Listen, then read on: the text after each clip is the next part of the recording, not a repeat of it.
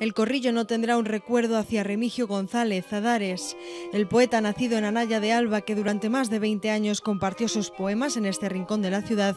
no contará con una escultura. El equipo de gobierno ha rechazado una moción del PSOE en este sentido, considerando que basta con una calle. Apenas pasadas unas horas de la muerte de Adares, el Ayuntamiento de Salamanca, y quiero remarcar esto, sin que nadie se lo pidiera, sin que nadie se lo pidiera, ya le había homenajeado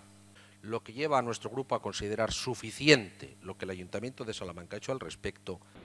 El PSOE recordaba la emotiva estampa del poeta en los escalones del Corrillo y la proyección de una imagen universal de Salamanca como ciudad de cultura.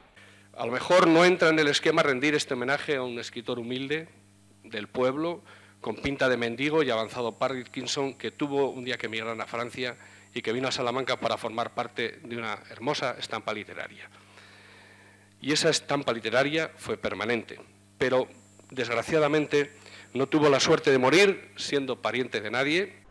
en el Pleno también el PSOE solicitaba crear un espacio vecinal en el colegio Luis Vives, ahora vacío, de forma que las instalaciones de la calle Benavente puedan destinarse al colectivo de músicos. El ayuntamiento ha considerado inviable esta opción y señala que el colectivo tendrá cabida en el nuevo centro juvenil de Garrido, que espera iniciar en breve. La única solución será la construcción del centro juvenil eh, polivalente. Eh, es un proyecto que ya está en contratación y que en el Pleno también se han dado los primeros pasos para una sede electrónica del Ayuntamiento, con un tablón de dictos digital que se pondrá en marcha.